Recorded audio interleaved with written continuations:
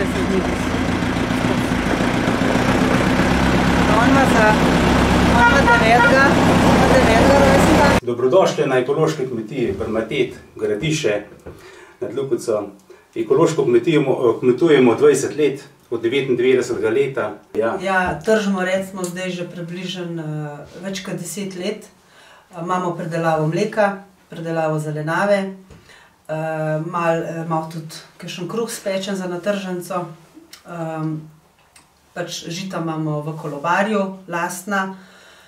Uh, ne vem, imamo ne, kar nekaj, ne, sedem, sedem izdelkov delam iz mleka. Uh, tudi cike mozemo, ne, v enem uh, hranimo jih samo z mrvo, tako zdaj po modern rečen seneno mleko, ne, čeprav je to Nam je to avtomatsko. 200-300 let stara stvar, ki zdaj v modo prihaja, ne? ampak je fajn, da tudi ljudje vejo, da tudi to obstaja. Uh, nismo intenzivni, čisto ekstenzivni, ne uporabljamo nobenih uh, ekoloških zadev, kar se tiče uh, zatiranja škodljivcev ali pa uh, za zdrave rastline, ampak sem, naš, naš glavni. Uh, naša glavna zadeva, da ohranimo zdravje pri rastlinah, je kolobara. Ne? In tega se držimo, gledamo luno.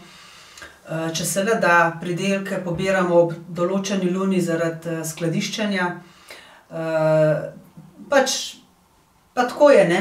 otroci so prisotni zraven, pomagajo. vključiti, ne Ker, Janez? recimo, po vsakmu večjemu uh, pravilu, recimo pobiranje krompirja, čebule, česna, mi rabimo več ljudi, ampak mi imamo zmer pol veselavko na koncu. Pa sosede povabimo, rad In to, in to noben noče, eh, recimo, noče, da bi mu plačal, ampak hoče, recimo, mamo boš dal.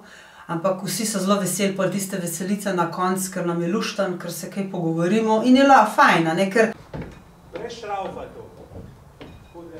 Le redke so kmetije, katere redijo tri slovenske avtohtone pasme živali. Vsi na kmetiji so navdušeni nad skromnostjo pasme cika, katere odlikuje izreden materinski čut.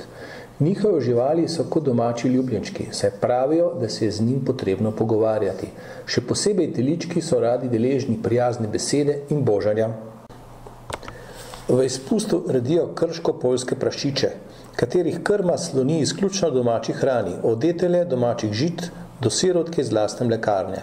Za svoje prašiče gospodar pravi, da so pravi športniki, domača hrana in veliko gibanja jim ne dopušča, da bi se zamastili.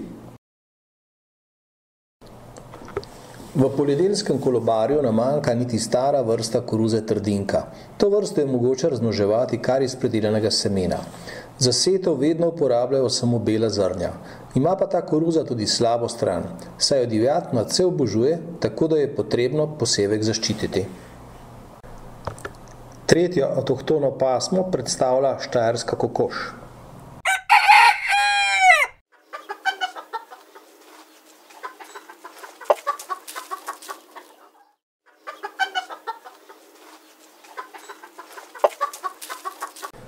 Pri hiši imajo še vedno prvi traktor iz leta 1956. Nad staro kaščo je gospodar uredil manjši muzej starega urodja in drugih pripomočkov. Tukaj se lahko najde urodje, katerega so nekdaj koristili na polju, hlevu, mlekarni ali domači delavnici. V starih časih so bile kmetije veliko bolj samozkrbne kot so danes. S pomočjo enostavnega urodja so na kmetiji skoraj vse naredili sami. Gonilna sila na kmetiji gospa Tanja se dvakrat na teden odpravi na ekološko tržnico v Ljubljano, kjer prodaja vse svoje izdelke. V vseh letih se je kmetija Permatet pridobila veliko stalnih strank, katere zaupajo v ekološko pristnost njihovih izdelkov.